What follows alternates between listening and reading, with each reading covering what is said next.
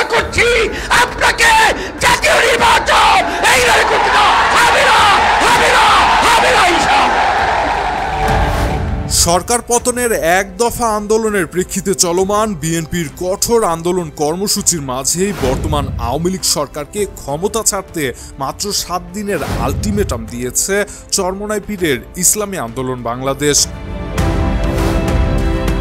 আগামী দশই নভেম্বরের মধ্যে আওয়ামী লীগ সরকারকে পদত্যাগ করে নিবন্ধিত রাজনৈতিক দলের প্রতিনিধিদের নিয়ে গঠিত জাতীয় সরকারের হাতে ক্ষমতা হস্তান্তরে আলটিমেটাম দিয়েছে ইসলামী আন্দোলন বাংলাদেশ শুক্রবার সোহরার্দি উদ্যানে আয়োজিত মহাসমাবেশ থেকে এই আলটিমেটাম দিয়েছেন দলটির আমির সৈয়দ মোহাম্মদ রেজাউল করিম চরমনাই পীর।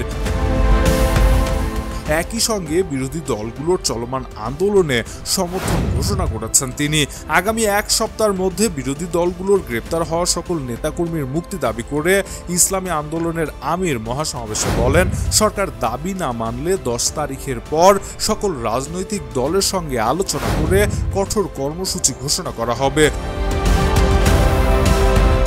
প্রসঙ্গত, সকাল থেকেই এই মহাসমাবেশে যোগ দিতে ঢাকা সহ সারা দেশের হাজার হাজার নেতাকর্মীরা ব্যানার, ফেস্টুন, জাতীয় পতাকা ও দলীয় পতাকা সহ খণ্ড খণ্ড মিছিল নিয়ে সোহরার্দি উদ্যানে জড়ো হতে শুরু করেন। সেখানে সকাল দশটা থেকেই নেতারা বক্তব্য শুরু করেন। বেলা বাড়ার সঙ্গে সঙ্গে নেতাকর্মীদের ঢল নামে সোহরার্দি উদ্যানে এ সময় নেতাকর্মীরা সরকার বিরোধী বিভিন্ন স্লোগান দিতে থাকেন।